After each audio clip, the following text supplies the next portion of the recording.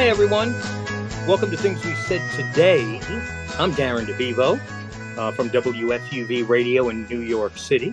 And with me for this special edition of Things We Said Today is my good friend, Allan Kozinn. Allan, uh, accomplished writer, journalist, critic, the co author of The McCartney Legacy, Volume 1, covering the years 1969 to 1973. Hard at work at Volume 2 as we speak.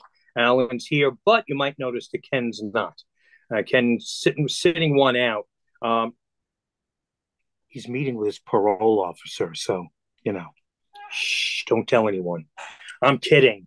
But Allan, it's great to have you here for what should be a special conversation. Great to be here. Yeah. Well, uh, today uh, in this special Thanksgiving week program that we have for you, uh, author and I wouldn't say he's a playwright. He's a theater. Produ- he's produced the theatrical musicals on Broadway.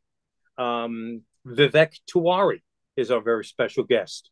Now, it was 10 years ago that Vivek uh, wrote a graphic novel called The Fifth Beatle, the Brian Epstein story. And you will hear me say Epstein and Epstein numerous times throughout the show because we recorded this interview about a month ago. Now, Allan is uh, modeling the, that's the first pressing you have, right? The first print. This is the original edition, right? The vintage, the vintage edition. and that now is 10 years old and is being re-released what do you do when you reissue a book and i'm used to music gets re-released a book gets republished i don't know i guess reissued i mean and it comes with uh you know it's got a new cover it's got a an, uh, a new intro it's got new sort of uh end materials it's it's got a bunch of new stuff mm-hmm. so well, the new 10th anniversary uh, edition of Vivek Tiwary's graphic novel, The Fifth Beatle, the Brian Epstein story, is now out, and perhaps it could end up underneath your Christmas tree. But first, let's um, go back about a month. We recorded this interview with Vivek on October 23rd, Allan and I did. And uh, let's go back and enjoy Vivek Tiwary, our special guest on Things We Said Today. It's our very special guest on this special edition of Things That Today. It's author. I mean, I have a list here with your resume, and it's it'll take about a half an hour to read all. The so let's just say author, um, playwright. No, uh, um, Broadway producer. Thank you. That's why Allan's here to to bail me out. It's my well, great pleasure to to welcome to the show Vivek Tiwary, uh, the author of the acclaimed The Fifth Beatle, the Brian Epstein story. Or is it Epstein? Are we going to go with Epstein or Epstein? Or is there wrong way? we could have we could have a, a, a, deep discussion about about this topic, uh, but, right. but I will say this: the the family uh, pronounces their name Epstein, so that's how that's how I've been calling it, and that that comes straight from uh, from Brian's mom. So that that's how the family has said it over the years. Um, that being said, you you can find plenty of uh, of footage of, of, of folks like John Lennon saying Epstein, and, right. and Brian not correcting them. So um, you know, I I don't think he was bothered by either. But the the family the correct family pronunciation is Epstein. Right. Like Leonard well, Bernstein, Leonard Bernstein. He he they said Bernstein. You say potato, I say potato. Yeah. Well, this is the new edition of the Fifth Beatle. When you're watching this this Thanksgiving week, hey. Allan holding the original. That was published exactly 10 years ago this month, 2013, November 2013. And now we have the 10th anniversary edition, which is out this week, Thanksgiving week, November 21st, 22nd, first in comic book stores, then in all bookstores. Uh, and the fifth Beatle has been expanded. As it says here, it is the 10th anniversary edition. And it gives me great pleasure to welcome Vivek Tiwary to Things We Said Today. Thank you for having me. And it, it, it, uh, I tell you, just reading about you in general, it's fascinating because this project, this Beatles project, this book, sort of well you're very involved with music but um, your thing is broadway for the most part But then there's this whole other island where you've sunk your teeth into the story of Brian Epstein. Um, and it's a story that should be that, that surprisingly isn't told enough. And you probably have nailed down a definitive look at his life. Um, tell us how you were involved in Broadway. The Beatles were always important to you. I know that, having read about you. But how did how did the Brian Epstein story come about uh, for you? Yeah, so you know, I, I, uh, I'm, I, you're right. I am certainly best known for my Broadway work, uh, but I do describe my, my company more broadly. You know, we say that we we exist to shift the paradigm for music in entertainment, which is sort of a just a pretentious way of saying that we uh, we work with well-known music and we try to find creative ways to present that music to music fans, whether that's taking music that you might not think belongs on Broadway and putting it in a Broadway show, which is what we did with um, most recently with Alanis Morissette adapting Jagged Little Pill for the stage. Uh, in which it was not a bio about her life. It was a new and original story that we felt honored the themes of Jagged Little Pill. Before that, I worked with Green Day on American Idiot. Um, you know, so the, those types of shows that are certainly Broadway musicals um, by any definition, but but I like to think also kind of push the uh, the definition of what what what is typically works on Broadway forward. Um, and I have projects that we're developing for film and television. So we we are really platform nimble is the way I, I also like to think of our work. So we're we're really you know I'm I'm less uh, bogged down by what platform should a story be told in and and more you know what's the music and and what's the story that that music wants to tell um, so when you look at it in that in that respect you know, writing a graphic novel uh, that's based on the life of a music manager, um, it doesn't really, you know, feel that surprising for for the scope of what we do. Um, that being said, you know, I am a writer, and I, but I write very rarely. And this, you know, I'm I'm more often than not I'm a producer, and this was a particular labor of love for me. And and my passion for Brian really predates my company, my career. You know, it really goes all the way back to when I to my college days.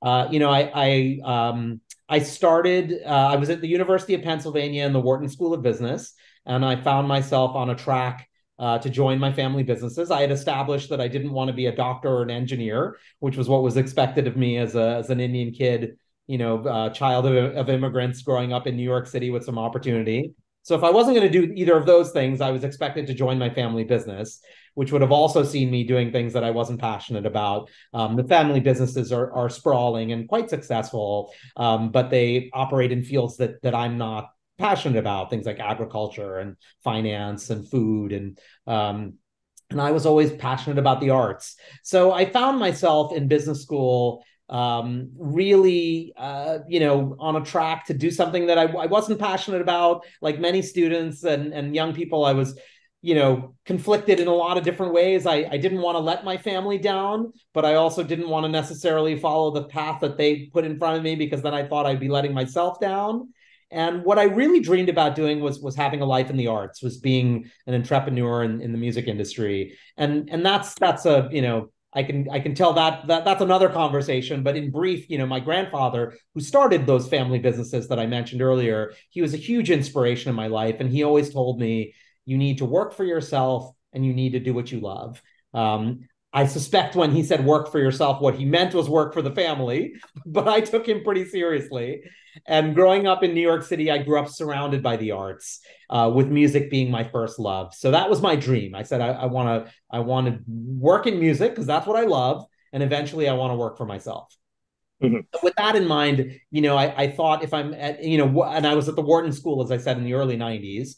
And Wharton back then didn't have any resources for young people who were interested in in careers in the music industry or in the arts. Um, you know, this was before the uh, the internet boom, and so they they weren't even encouraging their students to go into new media or technology. It was all about invest, investment banking and finance and accounting. And to be fair, that's changed. Wharton now has a number of resources for the business of the arts. And in fact, I try to go back myself and guest lecture and be, be one of those resources. But back then, there really wasn't anything. So I kind of found myself needing to study this on my own. I was a lifelong Beatles fan. I joke that I was listening to the Beatles before I was born because my parents were Beatles fans and they were playing the Beatles when I was in the womb. Um, so I was, you know, was born a Beatles fan. Uh, and I always thought that Brian and the Beatles were the team that wrote and then rewrote the rules of the pop music business. So, wanting to get involved in that business, I thought I should study the, the life of, of Brian Epstein. And you know, as you mentioned, there there were no books available about Brian. The Fifth Beatle is the only book in print about Brian, graphic novel or otherwise. And um, and so I started by reading every respected book I could on the Beatles. And back then, um, you know, there were there were these 300 page books on the Beatles that had 10 or 15 good pages about Brian. Some of the Beatles books today have have more on Brian, but nevertheless, he's he's usually um, on the margins, you know, and and and very often those books have half truths or or what I'd learned was misinformation about Brian. But but what they did provide for me was was a portrait of the people who knew Brian best, his friends, his clients, his family, his enemies, his detractors. And uh, and what I did was I really just um, gather a list of these folks. I focused on people who were either in New York, which was home, or Philadelphia, where I was at school, and then I just cold called them. And I said, I'm I told the truth. I said, I'm a student who's looking for more inspiration and dreaming of a life in the music industry. The little bit I know about Brian and what he did for the Beatles is inspiring. And would you please talk to me and tell me more? And, you know, I called people like Peter Brown, Sid Bernstein, Nat Weiss, who was was still with us back then, who's still alive then. And um, you know, many people warned me, "Oh, these folks will never talk to you." You know, Peter Brown in particular, I was told uh, he wrote a book about the Beatles, and he doesn't do Beatles interviews anymore. He doesn't talk about Brian anymore. They'll never talk to you. And you know what? Like, not one of them said no. Um, and uh, you know, they they they all were more than happy to sit down and speak with me about Brian. And you know, this was in the days before Wikipedia or YouTube or Google. You know, Google didn't even exist back then. So I, I kind of was forced in a lot of ways, very, very, very um, fortuitously so, to do these interviews with with you know in person. Uh, i guess i could have done some on the phone but I, I, I like to be in person whenever i can which again is why i focused on new york and philly. And again it was very fortuitous because slowly these folks became friends you know they they saw me they could see that i was passionate and genuine and you know at the time i wasn't writing a book i was just i wasn't even writing a term paper for school. I was gathering um, information from my own my own personal passions and and and, and inspiration. And you know initially i i told as i told you i was a business student. I wanted the business right. stories you know, I didn't care about Brian's personal life. I wanted to know how did he get a record deal when no one wanted to sign the band? Knowing my music history, I knew a British band hadn't made an impact in the United States before the Beatles. So, how did he book them on Ed Sullivan? How did those things happen? Somebody had to be behind the scenes orchestrating that stuff from a business perspective. Um, and I did learn those stories, and they are fascinating. But what really, um, the real revelation was when these folks started to tell me, like, listen, if you really want to know what made Brian tick, you have to understand who he was as a human being and, and lear- learning how he was gay at a time where it was against the law, how he was Jewish at a time of pervasive anti Semitism. And certainly, you know, I don't want to go off on too much of a tangent, but that's clearly uh, still still an incredible problem in the world. Um, so I, I, don't want to suggest it was easier back then than it is now. Um, but it was was another one of many things that Brian w- was was dealing with. One of the many things he was persecuted for as a young man. He was from Liverpool. Um, at a time before the Beatles when no one was looking to Liverpool for the next big cultural thing, you know, and he was 26 years old. He was, by, by all standards, a kid. So in Brian, you've got this gay Jewish 26 year old kid running around a, a, random port town in the north of England saying, I found a local rock and roll band who are going to be bigger than Elvis, who are going to elevate pop music into an art form, wh- whatever that means. You know, people laughed at him. They said th- those those dreams are stupid, and people like you don't don't do things like this. And and that's what really clicked for me as a deep source of inspiration now, what I would never claim that I had the obstacles in my life that Brian had, But as I mentioned, I was a child of immigrants. My parent family is originally from India. I was considered a weirdo Indian kid growing up in the, the Lower East Side of New York City. And that was my, my inspiration. I all of a sudden thought, you know what? If the gay Jewish kid from Liverpool could bring the world the Beatles and engineer Beatlemania, then why couldn't a weirdo Indian kid from the Lower East Side write graphic novels and produce Broadway musicals and and pursue those kind of dreams? You know, I, I always I know I've been talking for a while. I'm sorry, but it's it's a, it is a, a lengthy answer to the question. Um, you know, I always say that if there's one message to the Brian Epstein story, it's that no dream is too impossible and no person too unlikely to realize that dream. So that's kind of like how I came to the story and and why for me it really is about Brian and not about the Beatles, even though I am a gigantic Beatles fan. Um, you know, this this has a very personal and a human um, angle to it. So it's the other reason why 10 years on after the book's release, for me, it's uh, you know, I, I couldn't be happier to be at this place. And I, I n- have never once thought of this 10 year anniversary as like a a victory lap or as a, a something. Yes, of course, I'm celebrating, but it's not a matter of just celebration. It's like it's an ongoing journey to get this message out into the world because it's a it's a message everybody still needs to hear. It's it's a human story about chasing your dreams in the in the face of adversity. So now I will shut up. I apologize. no, no, no. I, saw Allan. You want to? You have something? Yeah, yeah. Want? I just wanted. I just wanted to do a a, a second of um, amateur psychologizing here, um, because um, although you're you're not Jewish, and last time you were on the show, you told us that you weren't gay, but you do have a family with a retail business that wanted you to go into it and this there's a similarity there. I think there's a, a, commonality with brian there. Brian had his dream that he wanted to do. I mean he had various dreams. It took him a long time to find you know the one that worked which was the beatles. Um, um, but you know, it, I, I see sort of as you're telling the story, I just sort of see a similarity there. You know, just in that one aspect.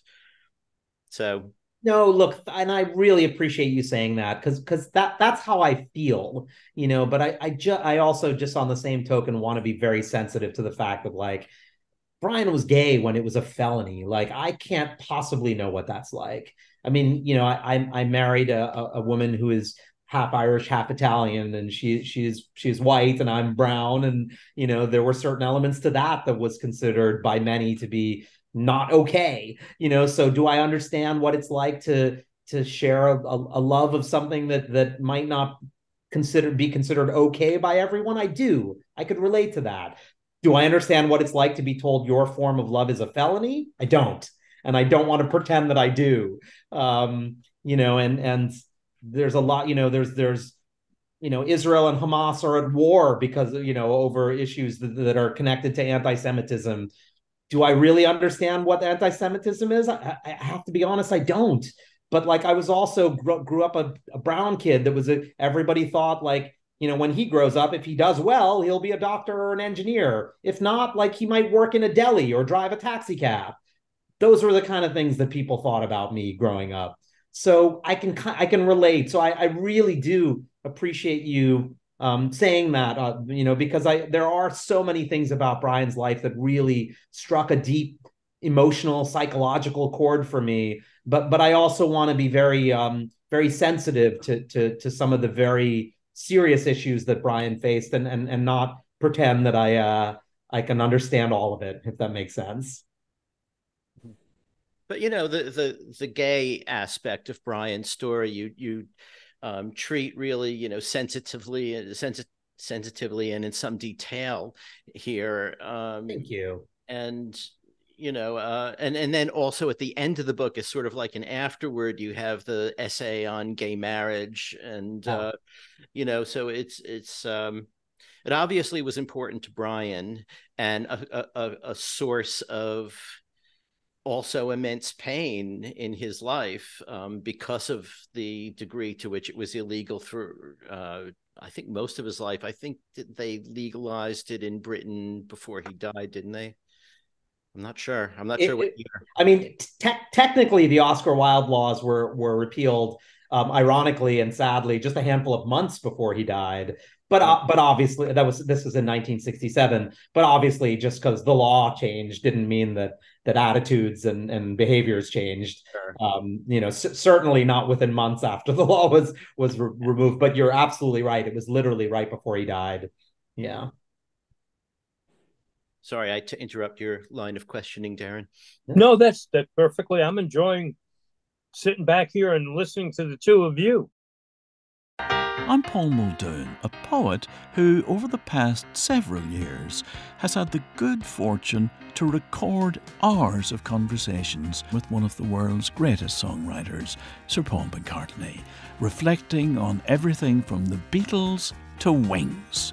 The result is our new podcast, McCartney A Life in Lyrics. Listen wherever you get your podcasts. Um, you mentioned, uh, Vivek, that uh, initially you were reaching out to folks to learn about Brian the man, not to write a book, not to turn it into yeah. a show, a movie, whatever. At what point, though, did you realize Oh yeah, sure. The story that has yeah. to be told. This has to be a book, and I'm fascinated with your and I will be. I'm fascinated with your decision for this to be a graphic novel and not a traditional book. Yeah, not so, so novel, not yeah. the graphic novels are a traditional, but it's a unique book in the amongst you know uh, music uh, literature to have a graphic novel tell a story. Thank yeah, thank you for saying that. You know, um, one of the things that I am proud of is that that we were maybe not the first, but one of the first sort of um, music stories told in the graphic novel medium. And over the past ten years, you know, we're celebrating the ten year anniversary of the book with this this new edition. That's one of the things that that's changed. There's there's many more now, and graph, graphic novels in general. Um, it's been such a joy to watch how that that um, that medium has just grown. I mean, 10 years ago, you know, there were there were, you know, most bookstores, you know, didn't know where to put this book. Like, does you know, they don't they didn't have a graphic novel section. And now many do, you know, and they were like, is it a is it a comic book? Is it a graphic novel? Is it history? Is it, you know, the music? And you know, we our default would be like put it under music, but it but it's uh it's quite remarkable now that this this is a, a medium that not just you know it's not just for for comic books and fanboys and fangirls mm-hmm. But uh, but you know, so so go, going back, you know, rewinding to when I was was making these decisions. So it's true that when I started researching this story, you know, it was um, I'm going to date myself. was when I was starting at school. It was in the early '90s, um, or I'm sorry, the midnight. Yeah, uh, no, early night. Yeah, it was about about. It would have been around '92. Yeah, it would have been early '90s that I started doing this research. So you know, a, a good like you know several decades ago, and certainly decades before, um, you know, I had I had graduated and started a company and and had a had a career path ahead of me. So you know, I'd, I'd have to go back and do the math, but it was certainly like you know at least ten years plus from when I became friends with these people that I called everybody back and I said, you know, now now I have have you know I've worked for graduated business school, worked in the music industry for a number of years for record labels, started my own company where we are platform nimble and, and doing a variety of things. And no one has told Brian's story yet and I want to do it. So I want to take all, you know, I wasn't, you know, as you know, I wasn't lying when I first sat down with you and said, I, I, just want some inspiration, but here I am. And, and now I want to do something with, with all these, with this knowledge that I've, I've gained over the years. And again, I was very humbled that, that not one of them, um, you know said don't do that or or or uh not they all encouraged me not one of them thought it was a bad idea they they thought it's great that you you should be the one to tell it because I wasn't there so I do come from a little bit of an outsider's perspective but I obviously am very passionate about the subject. Um so so they all encouraged me to do it. And you know i i do approach every project that i do um, in this way that's platform nimble where I, I think music comes first and the story and narrative are, are, a very close second. So in this case, obviously, it was a Beatles related story, and and I knew the narrative was about Brian's life, and and then you know you figure out what what's the medium for it. Um, at the time that I started working on the book, I, I, had already had some successes on Broadway. So, in some ways, doing it for Broadway would have been the easy thing to do because it was the medium that I knew most. Um, but as I started to think about how I wanted to tell the story, the first thing I decided was that I wanted it to focus on the years he spent with the Beatles. So 61 to 67, basically, uh, and hence the title, The Fifth Beatle. You know obviously like there's there's you know through backstory and exposition and dream sequences and other other mechanisms we we learn about his life before the beatles. But i really wanted to focus on on those those years um, and I believe that you know 1961 to 1967 was a period of time where a, a black and white world burst into Technicolor. You know that's mm-hmm. the way I thought of it. You know, and I and I thought that this is also what the Beatles did for Brian. And um, you know, if you if you look at the graphic novel, we we followed through on that. You know, the first few pages of the book are are black, white, gray, and, and blue. You know, and then when when the Beatles first appear uh, in the Cavern Club for Brian, ah, thank you for showing. Yeah, you see, it's it's almost totally black and white. And when they first appear, you get your first bursts of red and yellow and orange. And then by the time you get to uh yeah, there you go. So you get some red and orange there. And the the, the by the time you get to the end of the book to Kyle Baker's sequence in, in the Philippines, it's we're on f- full on technicolor, you know. And, and that's what I think the world was like. You know, Brian, 1961 Liverpool was a dray, grabbed, industrial, rainy place and then the, the Beatles injected color into his life. And uh, and then Brian was, you know, with the Beatles was was an architect of the '60s of of what we think of as the '60s, the later '60s. You know, the the Summer of Love, the psychedelic era. The, the you know the you know there there was literally an event in the in '60s in late '60s London called a Technicolor Dream. It was a big festival there. So so right. to me, the story is tied into color. You know, and uh, and I believe that that the two media that that use color most effectively as a narrative tool are really graphic novels and film. And and I'm a lifelong comic fan. I have always wanted, you know, I I always I, I say that I'm pretty sure I learned to read by reading comics with my mom. My earliest memories of reading are reading Tintin and Asterix with my mom. Um, and so it was you know also fulfilling that kind of lifelong dream to to to write a graphic novel. And and uh and at the same time we did set off to you know to to do we you know we always thought we want to do a, a film or a tv show but you know filmed entertainment with this as well. That was always something we dreamed about doing. But um but we wanted to start with a graphic novel because re- really that part of it was just out of passion. You know i'm a, I'm a comic fan from from the beginning uh, from day one. So so that's uh, again another long answer to your question, but um, but very emotional reasons behind that one too. One quick question before I throw it to Allan. Um, uh, the amount of work that goes into a story like this, writing a graphic novel, is is fascinating to me. It's remarkable because you're just not writing text. Now you have to get the art involved and artists, artists, uh, yeah. uh, to and and to work hand in hand with somebody who is visually telling a story and it has to match what you're what you're saying in words. Tell us about the process and who the other people are uh, that are uh, behind the fifth beatle yeah thank you for asking. So i uh, i can't draw to save my life uh, and we're we're very fortunate that we had two absolutely you know stunning artists on this book um, the most of the book is is um, painted by Andrew Robinson, and I and I and I do say painted um, because also very unusual for the comics medium. There there is a canvas, so literally a painted canvas for every single page of the book. Um, you know, in in the uh, in the um, supplemental materials in this anniversary edition, there's a a sketchbook that Andrew put together where he explains his process. Many of those canvases he then you know scanned and and put other um, you know computer techniques on. So not all of them are just purely painted, but everyone, every piece started as a painted canvas. Something we always dreamed about doing and never did is doing a gallery exhibit somewhere where we literally put the whole book on a wall on, wow. on the walls because you could with this one. Very unusual for for comics. Um, but Andrew is that kind of an artist, and and he's just meticulous and and uh, you know he he um he he's the best. Uh, he's he's one of the great artists in the comic industry. And then we used Kyle Baker, who's equally uh, a, a, very you know, incredibly well respected, multiple award winning comic book artist. Kyle Kyle can do anything, but he's he's won many awards for his cartooning work, and um, and you know that sequence. Uh, there's a sequence, very specific little sequence uh, called uh, Chaos in the Philippines, which pays homage to the old Beatles cartoons, not Yellow Submarine, but the TV cartoons. Um, and I wanted someone um, to specifically do something very cartoony that was a departure from the rest of the book. Andrew can also do anything, but but I really wanted that sequence to feel like a jolt, like a different artist, different style, and so that's why we used Kyle for that. Um, I think this and so talking about. Yes, that's the sequence right there. So if you can see that, you can see it's a very different style from the rest of the book. Right, right. And we did that very specifically. And and now that um, we're 10 years in, um, one of the things that we we did with this new edition is we have a new cover, and um, and with that cover, we wanted to do something that kind of paid homage to all the art in the book.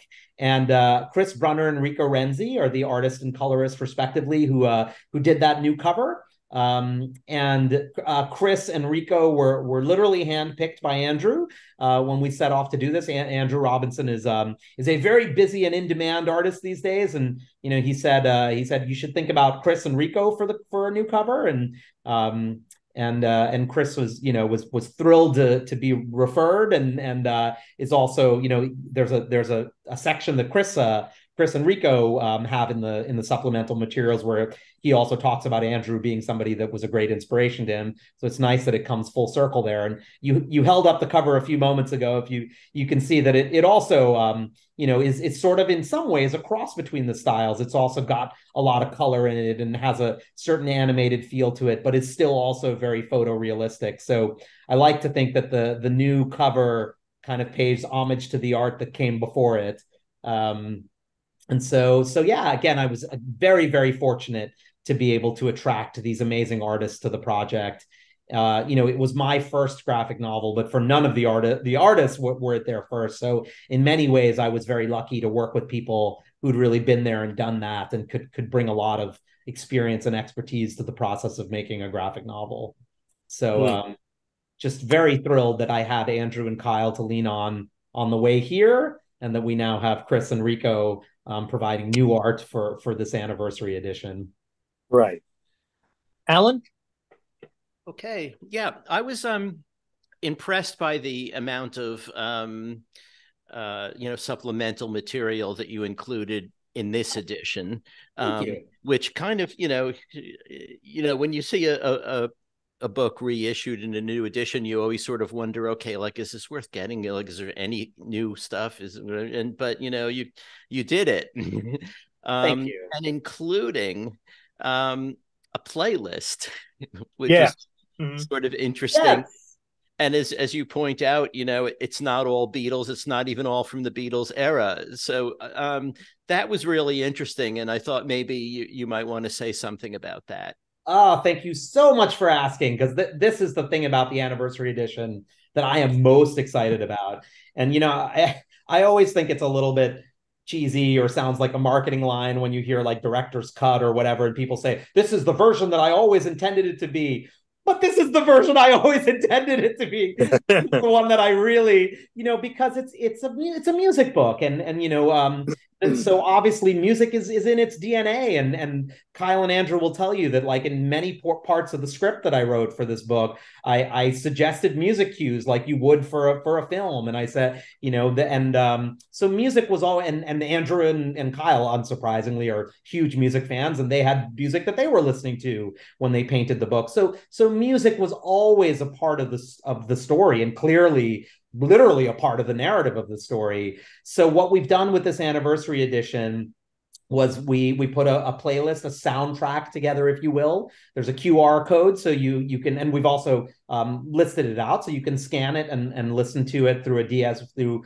a digital service provider like a spotify. Um, or if you uh, if you're old school you can you can uh, put, put your own playlist you know find it pull, pull your cds off the shelf because we do list what the songs are and um and and I've provided also liner notes because I'm old and, and dorky and geeky like that, and I remember loving albums that had liner yep. notes.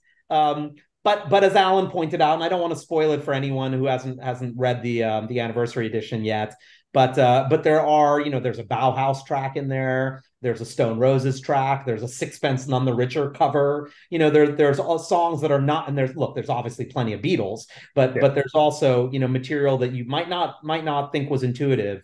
Um, Billie Holiday. There's a Billie Holiday track. That's right. Um, oh, sorry. Let me see if I can.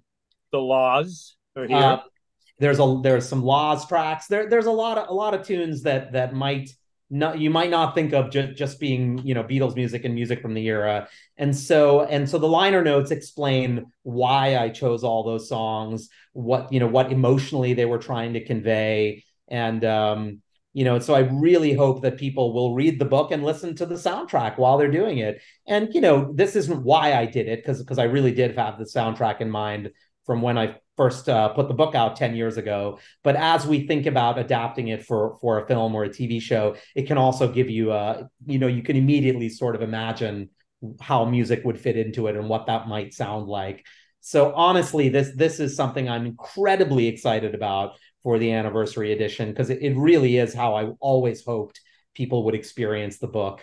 Um, and and really, thank you for saying that, Allan, because as a huge comic book fan, as a huge you know fan of books in general, you know, I, I um, you know, I am always a little bit wary when there's a new edition of something, and you know, always a little skeptical, or are they, you know, just trying to squeeze an extra dollar out of a fan? And I really didn't want to do that here, and and I so I, I really do hope that people will pick up this new edition, whether it's an old fan buying it again or a, a new fan coming to the first time, and and and see that you know we, we didn't do that. We we really did want to provide enough material that that um, that it made sense to do an, a new edition, not just a new cover. And the new cover is beautiful, but uh, yeah. in my opinion, and as I said, I can't draw to save my life, so I'm not patting myself on the back there but um, it's more than just a new cover. It's you know there's a new introduction by by Pearl Jam's man longtime manager Kelly Curtis, who was also inspired by Brian and was also one of my great heroes. Uh, you know, meeting Kelly Curtis was was a dream come true, and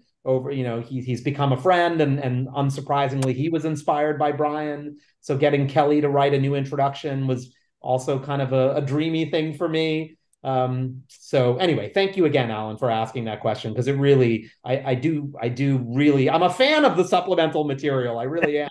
As yeah. much as I'm uh, also an author of the book, I, I, I love the the new stuff that we're we're able to give you.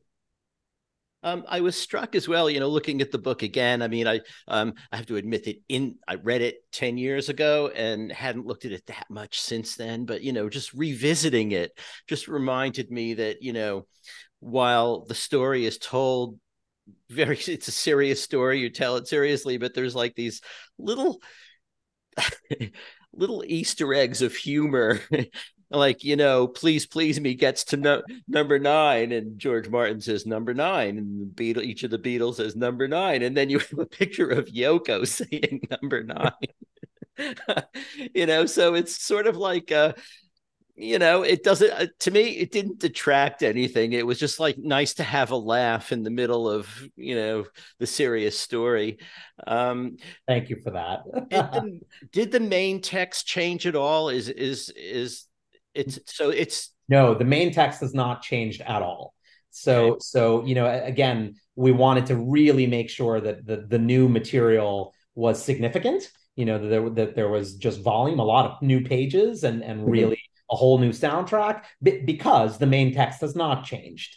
You know, we're the the story is the same, and so you know if you're not really interested in in new material or in music, you there and you already own it.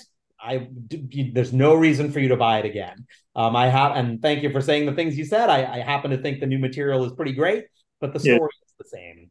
Um, and uh, and I think um, I'm really proud of that story. I, I don't think it needed to change, and um, so so we um, yeah, you know, it's it's uh, there are a lot of those kind of Easter egg moments for Beatles fans, and I, I, if you're a hardcore fan of the Beatles, I think you'll um you'll find a lot of, of neat stuff in it, and I and I hope that you'll find more stuff as you revisit it, as you read it again and again. But I will say, you know, coming up on the anniversary, this 10 year anniversary, one of the things that I am really, really proud of is how the LGBTQ community and the Jewish community um, has embraced the book as a as a great you know story of an LGBTQ hero and a great Jewish hero, and and those were communities that weren't necessarily aware of the story going into it. So, you know, 10 years on, like to get the support of my my Beatles family and the Beatles community obviously is a great joy, but to to now know that um that those communities read it and and and felt that I told their story well, even though I'm not a gay man and I'm not a Jewish man, that I, I told it with sensitivity and in a way that they could embrace it as well. Um, that to me was was a, a, a particular source of pride, shall we say? I have one um sort of like editorial decision question. Um, why create the character of Moxie instead of just making her Joanna Newfield or Wendy Hanson or or one of the other assistants? You know, just curious about that. I'm not. Yeah, yeah. Look, I mean, so so there is a character called Moxie, and she's a conflation of many people in Brian's life of, of Wendy, Joanne. She's a little Alistair Taylor. She's a little Peter Brown. She's she's got a, a, a lot in her, you know. And um, you know, one of the main reasons was that I wanted to, you know, to keep the book, uh, you know, the the the story pages, which as we said haven't changed to be pretty slim. It's, you know, it's 120 pages and you could read it in a in a pretty short airplane flight. Um, and and that was something that I really wanted to do. I did not want to write a 300 page book about Brian Epstein that I know that that the three of us on this uh, on this call would would have loved, and and there are many other Beatles fans that would have loved it, and and it might have sold enough books and justified its its its uh, existence. But as I said at the beginning of this chat, you know my goal here was to tell an inspiring human story and i wanted to reach people beyond just hardcore beatles fans or hardcore comic book fans.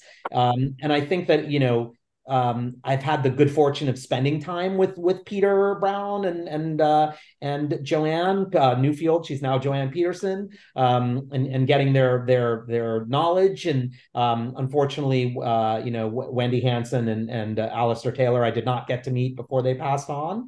Um, but uh, but I can tell you that these are people with rich stories of their own, um, yeah. and uh, and in order to include them all as characters, I would need to really tell those stories I, to do them justice. And I, I wouldn't have felt comfortable just having them come in and out as characters uh, and the book just, I didn't want that many pages, you know, and, and it is a graphic novel. It's not a biography. It's got fantasy sequences, it's got dream sequences, it's got a whole matador thing that's very surreal. And, you know, it's drew on my my love of filmmakers like Luis Buñuel and David Lynch. And, you know, that's uh it's it's it's art and it's got two artists working on it. So it, I want to be very clear about that.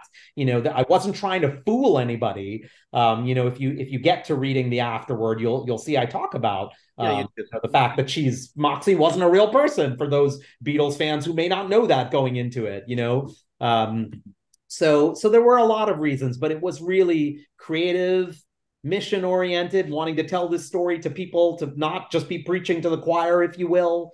Um, and th- those were the two big reasons, I guess. Yeah. Interesting. Yeah. Um, back to Darren. Yeah. Um, so uh, where do we go from here? I know that you have talked about there were plans in place. Maybe they still are in place to turn this into a television miniseries. Um, could it? I mean, being that um, one area of yours which um, is near and dear to your heart is Broadway. I mean, where do we go from here with the the Brian Epstein story? Yeah, uh, so so if you've been following the book over the past decade, as the two of you have, thank you so much. Um, you will know that there have been uh, been lots of talks about film and television. Um, and you know, uh, for those of you who aren't in the industry listening to this, that might seem like a long time, but in uh, in Hollywood, things move at a at an awful, sometimes at a very glacial pace.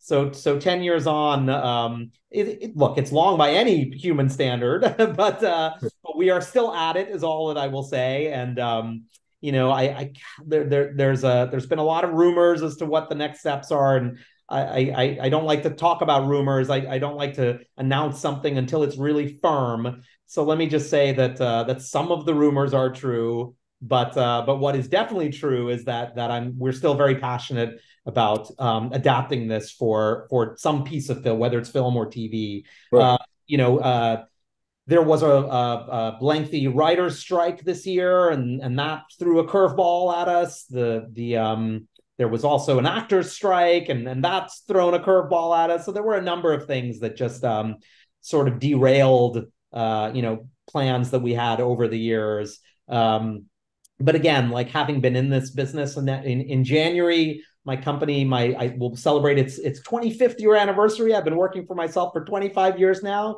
and you know, I've I've learned that um, that you know you always you don't you never wish for a project to have to deal with these kinds of peaks and valleys in its development, but but it's also not unusual. So um, so we are still planning on it. It it may still take a little bit longer before it happens. Um, but uh, but we want to do it right. You know, that's all I can right. say.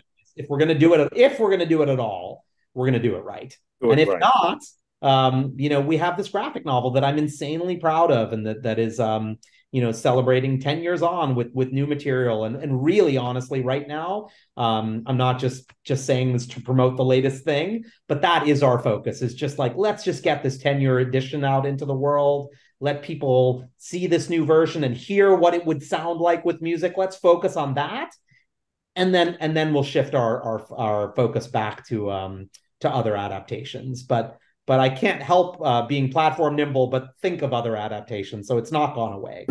That's what i'll say for now. Thank you so much vivek for your time. Uh, and thank you so much for telling the story in such a unique way and such a fun way and an uh, an attention grabbing way. The Fifth Beatle, the Brian Epstein story. I, I I've said it now both ways, Epstein and Epstein. um, and I, I was going to make for myself at least be consistent. Uh, so my consistent my consistency was that I was inconsistent. Uh, but the Brian Epstein, all good. Brian heard it all in his lifetime, so you're you're consistent with the experience that he had. Uh, there you go the 10th anniversary edition out this week, Thanksgiving week, uh, November 21st and 22nd. And one day it's for just comic store launch and then all bookstores the next day. M Press, the publisher division of Dark Horse Comics, no relation to Dark Horse Records. Um, and once again, Vivek Tiwary, what a pleasure uh, getting to meet you.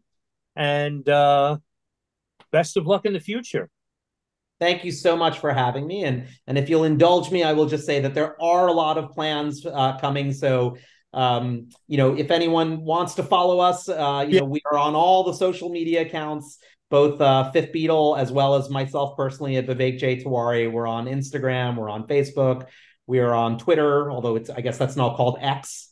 Um, and uh, you know we don't post as often as as we probably should because as i said a lot of the stuff are still in rumor phase but um, but do follow us, and and you'll hear the the um the latest as, as stuff stuff unfolds. So thank you again for having me.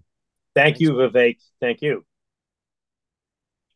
Well, we hope you enjoyed that very special conversation with Vivek Tiwary, the author of the graphic novel The Fifth Beatle, the Brian Epstein story. The 10th anniversary edition is now out.